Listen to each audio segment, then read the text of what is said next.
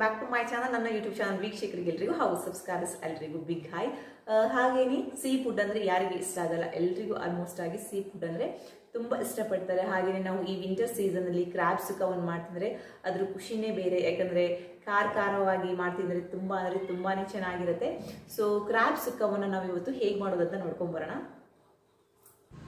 ಜಾಲಿಯನ್ನು clean ಮಾಡೋಕ್ಕಿಂತ ಮುಂಚೆ ನೀರಲ್ಲಿ ನೆನೆಸಿಟ್ಕೊಂಡಿರಬೇಕು. ಒಂದು ಫೈವ್ ಟು ಟೆನ್ ಮಿನಿಟ್ಸ್ ಇಟ್ಕೊಂಡ್ರೆ ಸಾಕು. ಯಾಕಂದರೆ ಅದರಲ್ಲಿರೋ ಮಣ್ಣೆಲ್ಲ ಬಿಟ್ಟು ಹೋಗುತ್ತೆ. ಹಾಗೆಯೇ ನೀಟಾಗಿ ಈ ರೀತಿಯಾಗಿ ಕ್ಲೀನ್ ಮಾಡ್ಕೊಳ್ಬೇಕು. ನೆಕ್ಸ್ಟ್ ಮಸಾಲೆಗೆ ಟೆನ್ ಟು ಟ್ವೆಲ್ ಆಗುವಷ್ಟು ಮೆಣಸನ್ನು ತೊಗೋಬೇಕು. ನಾನಿಲ್ಲಿ ಮೆಣಸನ್ನು ತೊಗೊಂಡಿದ್ದೀನಿ ಎರಡು ರೀತಿಯಾಗಿ. ಬ್ಯಾಡಗಿ ಮೆಣಸಿನ್ಕಾಯಿ ಮತ್ತು ಗುಂಟೂರು ಮೆಣಸಿನ್ಕಾಯಿ. ತುಂಬ ಚೆನ್ನಾಗಿ ಟೇಸ್ಟ್ ಬರುತ್ತೆ.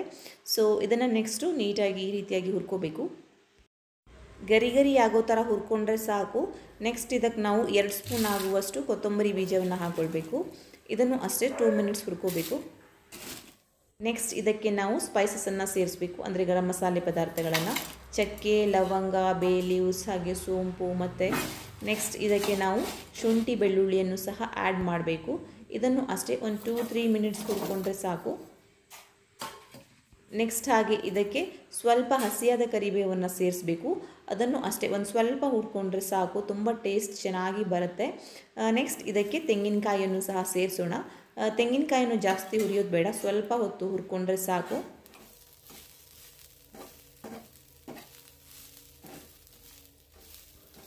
ಹಾಗೆಯೇ ನೆಕ್ಸ್ಟ್ ನಾವು ಇದಕ್ಕೆ ಸ್ವಲ್ಪ ಹುಣಸೆ ಹಣ್ಣನ್ನು ಸೇರಿಸಬೇಕು.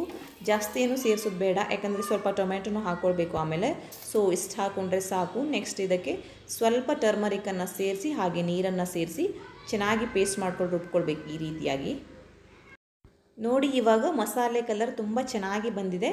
ಹಾಗೆ ನೆಕ್ಸ್ಟ್ ನಾವು ಫೈ ಅಥವಾ ಸಿಕ್ಸ್ ಸ್ಪೂನ್ ಆಗುವಷ್ಟು ಎಣ್ಣೆಯನ್ನು ಆ್ಯಡ್ ಮಾಡ್ಕೊಳ್ಬೇಕು. ಅದಕ್ಕೆ ನಾವು ಇವಾಗ ಸ್ವಲ್ಪ ಕರಿಬೇವನ್ನು ಸೇರಿಸಬೇಕು.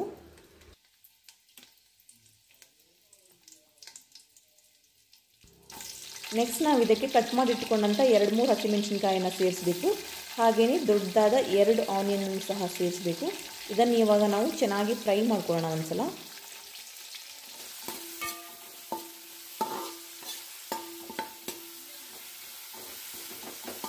ನೆಕ್ಸ್ಟ್ ನಾವು ಇದಕ್ಕೆ ಒಂದು ಟೊಮ್ಯಾಟೊ ಹಣ್ಣನ್ನು ಸೇರಿಸ್ಕೊಂಡ್ರೆ ಸಾಕು. ಯಾಕಂದರೆ ಆಲ್ರೆಡಿ ನಾವು ಇದಕ್ಕೆ ಹುಣಸೆ ಹಣ್ಣನ್ನು ಸೇರಿಸಿದ್ದೀವಿ ಮತ್ತು ಜಾಸ್ತಿ ಹುಳಿಯಾಗಿಬಿಡುತ್ತೆ ತುಂಬ ಹುಳಿಯಾದರೆ ಚೆನ್ನಾಗೇ ಇರಲ್ಲ. ಸೊ ಒಂದು ಹಾಕ್ಕೊಂಡ್ರೆ ಸಾಕು ಕಟ್ ಮಾಡಿ. ಇದನ್ನು ಸಹ ಸ್ವಲ್ಪ ಹೊತ್ತು ಇವಾಗ ಚೆನ್ನಾಗಿ ಫ್ರೈ ಮಾಡೋಣ. ಇವಾಗ ಚೆನ್ನಾಗಿ ಫ್ರೈ ಆಗಿದೆ ಟೊಮೆಟೊ, ಆನಿಯನ್ ಎಲ್ಲ ಅಷ್ಟೇ. ತುಂಬ ನೀಟಾಗಿ ಬೇಯ್ದಿದೆ. ಇದಕ್ಕೆ ನಾವು ಇವಾಗ ಕಟ್ ಮಾಡಿಟ್ಕೊಂಡಂಥ ಜಾಲಿಯನ್ನು ಸೇರಿಸಬೇಕು. ಹಾಗೆಯೇ ಅದರ ಕಾಲುಗಳನ್ನು ಸಹ ಸೇರಿಸಬೇಕು. ಅಂದರೆ ಕೊಂಬಂತಾರೆ ಇದಕ್ಕೆ. ಅದನ್ನು ಸೇರಿಸಿ ಇವಾಗ ನೀಟಾಗಿ ಒಂದು ಸಲ ಮಿಕ್ಸ್ ಮಾಡಬೇಕು. ಇದಕ್ಕೆ ನಾವು ಇವಾಗ ಯಾವುದೇ ರೀತಿಯ ನೀರನ್ನು ಸೇರಿಸಬಾರ್ದು. ಟೊಮೆಟೊ, ಎಣ್ಣೆ ಮತ್ತು ಆನಿಯನ್ ಜೊತೆ ತುಂಬ ಚೆನ್ನಾಗಿ ಬೇಯಬೇಕು ಈ ಜಾಲೆ. ಆವಾಗ ತುಂಬ ಟೇಸ್ಟಾಗಿ ಬರುತ್ತೆ ಸುಕ್ಕ. ಹೀಗೇ ಇನ್ನೂ ಸ್ವಲ್ಪ ಹೊತ್ತು ತುಂಬ ಚೆನ್ನಾಗಿ ಫ್ರೈ ಮಾಡ್ಕೊಳ್ಬೇಕು.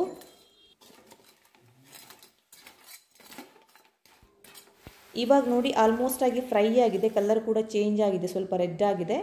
ಇವಾಗ ಅರ್ಧ ಲೋಟ ಆಗುವಷ್ಟು ನೀರನ್ನು ಸೇರಿಸಿ ಇನ್ನೂ ಸ್ವಲ್ಪ ಹೊತ್ತು ಬೇಯಿಸಬೇಕು. ಅಂದರೆ ಒಂದು ಫೈವ್ ಟು ಟೆನ್ ಮಿನಿಟ್ಸ್ ಬೇಯಿಸ್ಕೊಂಡ್ರೆ ಸಾಕು. ಇವಾಗ ರುಚಿಗೆ ತಕ್ಕಷ್ಟು ಉಪ್ಪನ್ನು ಹಾಕಬೇಕು. ನಾನು ಹಳೆ ವಿಡಿಯೋದಲ್ಲಿ ಹೆಸುಡೆ ಸುಕ್ಕ ಮಾಡುವಾಗ ಮಸಾಲೆಯನ್ನು ತರ್ತರಿಯಾಗಿ ರುಬ್ಬಿ ಹಾಕಿ ಮಾಡಿದ್ದು. ಅದು ಒಂಥರ ಡಿಫ್ರೆಂಟ್ ಆಗಿರುತ್ತೆ. ಬಟ್ ಮಸಾಲೆಯನ್ನು ತುಂಬ ಪೇಸ್ಟ್ ಮಾಡಿ ಮಾಡಿದರೂ ಕೂಡ ಇದು ಒಂಥರ ಚೆನ್ನಾಗಿರುತ್ತೆ. ಹಾಗೆ ಡಿಫ್ರೆಂಟಾಗಿ ಕೂಡ ಇರುತ್ತೆ. ನೀರನ್ನು ಸೇರಿಸಿದ ಮೇಲೆ ದೊಡ್ಡ ಉರಿಯಲ್ಲಿ ನಾವು ಟೆನ್ ಮಿನಿಟ್ಸ್ ಬೇಯಿಸ್ಕೊಳ್ಬೇಕು. ಹಾಗೆ ನೆಕ್ಸ್ಟ್ ಇದಕ್ಕೆ ನಾವು ಇವಾಗ ಮಸಾಲೆಯನ್ನು ಸಹ ಆ್ಯಡ್ ಮಾಡಬೇಕು. ಮಸಾಲೆಯನ್ನು ಆ್ಯಡ್ ಮಾಡಿದ ತಕ್ಷಣ ನಾವು ನೀಟಾಗಿ ಮಿಕ್ಸ್ ಮಾಡಬೇಕು.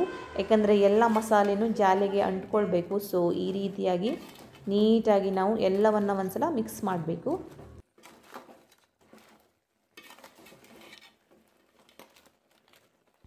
ನೋಡಿ, ಇವಾಗ ಜಾಲಿ ಕರೆಕ್ಟಾಗಿ ಬೇಯ್ದಿದೆ. ಹಾಗೆ ಮಸಾಲೆ ಕೂಡ ಅಷ್ಟೇ ಎಲ್ಲದಕ್ಕೂ ನೀಟಾಗಿ ಮಿಕ್ಸ್ ಆಗಿದೆ. ಇಷ್ಟಾದರೆ ಸಾಕು. ಇದಕ್ಕೆ ನಾವು ಇವಾಗ ಮೇಲಿಂದ ಕೋರಿಯಂಡರ್ ಲೀವ್ಸನ್ನು ಹಾಕಬೇಕು.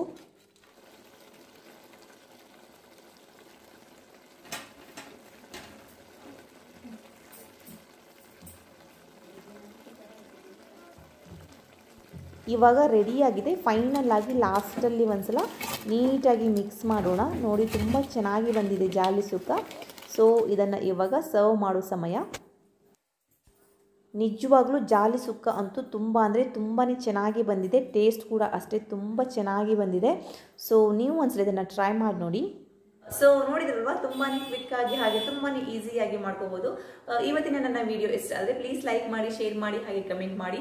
ಹಾಗೆ ನನ್ನ ಚಾನಲ್ ಅನ್ನ ಯಾರ್ಯಾರು ಸಬ್ಸ್ಕ್ರೈಬ್ ಮಾಡಿ ನೋಡ್ತಾ ಇದ್ರೆ ದಯವಿಟ್ಟು ಸಬ್ಸ್ಕ್ರೈಬ್ ಮಾಡ್ಕೊಳ್ಳಿ. Take care bye